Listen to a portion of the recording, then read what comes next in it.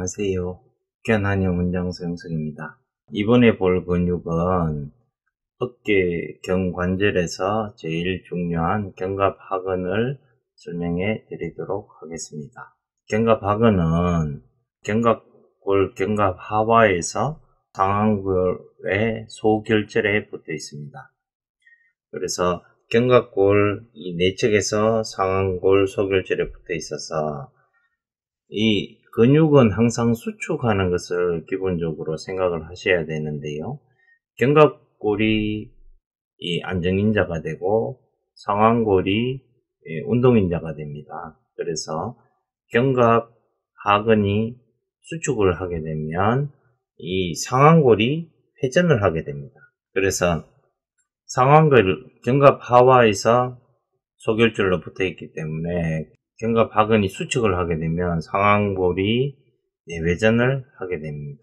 이 견갑 하근은 얼마나 중요한 근육이냐고 하면 오십견 치료의 기본적인 주로 치료하는 주동근이 되겠습니다. 오십견의 기본적인 이학적인 검사는 불고기, 불고기 120도, 외전이 90도, 내외전이 일중시어, 내외전은 일중시어 밖에 되지 않는 어깨 관절, 견갑골과 쇄골과 상완골이 굳어져서 회전이 되지 않는 걸 이야기하게 됩니다.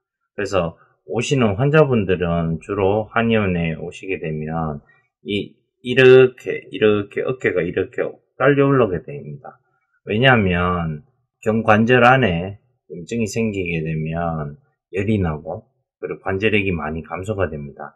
그리고 결국은 견갑 골과 상완골이 어, 떨어지지 않게 하기 위해서 이게 오그라붙게 됩니다. 그래서 환자분들 전형적인 자세는 이런 식으로 해서 한쪽 어깨가 이렇게 됩니다. 그래서 외전을 이렇게 90도를 해보라면 이렇게 이런 동작을 하게 됩니다. 예, 50견이 되었을 때 주된 치료가 견갑하근을 치료를 해야 되는데요. 이 견갑하근의 주요 통증은 이 견갑 뒤쪽 삼각근 후분 쪽으로 통증을 주로 많이 느끼고 한의원에 오시게 될 때는 주로 저녁에 잠을 못 자거나 옷을 입을 때 불편했을 때 한의원에 오시게 됩니다. 그런 경우에는 저희들이 할 수 있는 걸 다 해야 됩니다. 이 오십견 같은 견, 동결견이라고 그러거든요. 그래서 어깨 관절이 굳었을 때는 일단 TP도 해야 되지만 TP를 치는 이유는 통증의 경감을 위해서 맞습니다. 그렇지만 이 상완골의 가동력이 줄어든 것은 추나를 해야 되고요. 속에 염증이 생긴 것은 봉침을 써야 됩니다. 그래서 정형외과 essential 그 책에 보면 어, 유병기간이 한 2년 정도 걸린다고 하고 주 원인은 잘 뭐 모른다. 노화로 인해서 온다. 이렇게 설명해 놨습니다. 이 50견의 제일 주된 치료 근육이 이 견갑하근이 됩니다. 견갑하근은 평생 동안 계속 치료를 해야 되는 근육이고 50견 환자한테 이 견갑하근을 쓰게 되면 일단은 통증이 좀 줄고 가동력이 조금이라도 회복이 되는 효과가 조금 있습니다. 물론 주된 치료는 봉침과 추나를 해서 이 견갑골과 이 상완골의 움직임을 회복을 해야 되는 거지만 이 내배전을 주되게 하는 이 견갑하근을 TP를 침으로 인해서 통증의 경감을 감할 수가 있습니다. 견갑하근의 TP는 두, 두 군데가 있는데요. 첨부와 신부가 있습니다.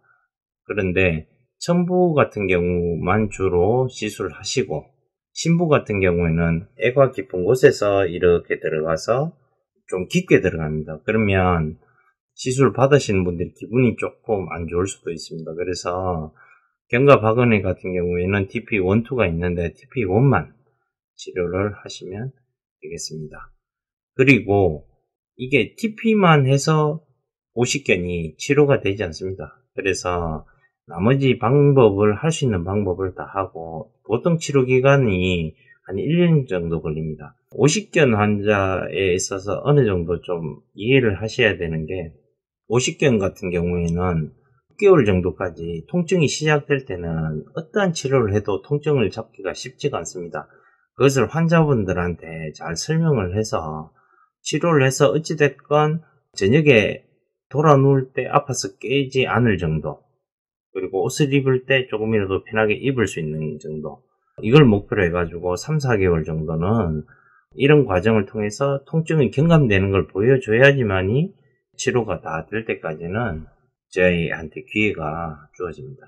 그래서 오십견이라든지 어깨 질환에 있어서 일단 내회전이 안 되는 그런 동작 같은 경우에는 견갑하근을 반드시 TP를 치고 평생 동안 아주 중요하게 봐야 되는 근육입니다. 이 견갑하근의 기능을 보면 제일 중요한 것이 견갑골과 상완골의 안정적인 지지를 하는 겁니다. 그래서 이 견관절에 있어서 견갑 리듬이라고 이야기를 하는데요. 안정인자가 이 견갑하근 그리고 삼각근 그리고 극상근 이렇게 세 가지 정도가 제일 강력하게 잡고 있는데 제일 안정된 인자가 삼각근이 되고 그리고 내부적으로 안정인자와 활동을 겸한 것이 견갑하근이 되고 그리고 극상근이 좀 운동인자에 좀 더 가깝습니다. 그래서 이 세 가지 근육의 기능과 움직임과 생리 병리적인 부분에 대해서 이해를 하시면 경관절에 대해 오는 오십견 치료에 조금 더 도움이 될 것입니다. 감사합니다. 이마에 이렇게 되고 좀 멀리서 보면 돼. 좀 올릴게. 자 어떻게 하냐면 자 봐잉. 자 손으로 늑골을 요렇게 내가 지금 원래는 이 위치에서 해야 되는데 자 늑골을 이렇게 잡아. 원래는 이 중지로 견갑 하각을 잡고 잡고 손을 요렇게 요렇게 분리를 하면 여기가 층이죠 아, 그러면 여기에 견갑 하각을 요렇게 넣으면 뼈가 바로 걸려. 뼈에 닿아요 하나 아, 됐지? 그리고 TP1이 하나가 있고 TP 하나가 돼 있어. 이 위쪽인데 잠시만. 음. 근데 TP2는 막 맞으면 기분이 좀 별로 안 좋아서 밑에 것만 줘. 견갑하거나 여기 보면 늦, 골을 타고 어, 늦골 타고 요렇게 들어가면 네.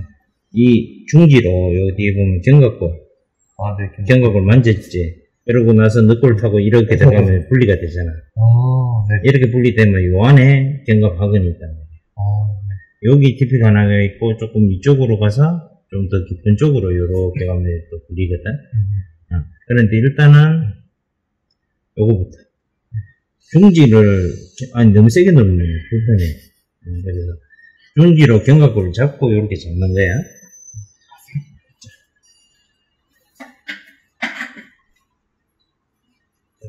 손주. 근데 침 별로 안 들어갔고. 자, 여기서 여기서 이렇게 해가지고 쭉 넣어 빼 다. 네, 빼, 빼. 넣었다, 몇 번, 넣었다, 뺐다. 아. 빼. 됐어, 빼. 됐지? 응. 요게 견갑학은 TP1. 응. TP2는 거기서 조금만 더 가. 조금만 더 가고, 거기 좀 길, 아, 안쪽으로 들어가야 돼. 자, 잡아봐. 그렇지. 뒤에 견갑골 확인했지? 그지? 네. 너무 깊다. 너무 깊어. 어. 어. 이렇게 잡아놓고, 찔러. 여기요? 어, 그렇지. 그래서 방향이 이렇게 들어와야 돼. 음. 무릎을 굽혀.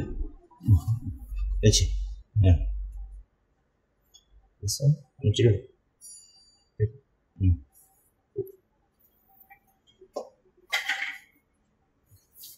네, 다 했어. 네, 다 했어요. 넣다 뺐다, 넣다 뺐다. 됐을 때. 어, 잘했어. 자, 지금 느낌이 요 통증이 이런 식으로 이런 식으로 방산이 되면 음. 잘한 거야. 느낌 어땠어? 어, 그래. 여기서 제대로 TP가 되면 TP 속에 연축이 되는 게 아니라 사각근 쪽에서 다른 방향으로 가듯이 여기는 이런 식으로 쭉 이렇게 넘어가거든. 똑같은 방향에서.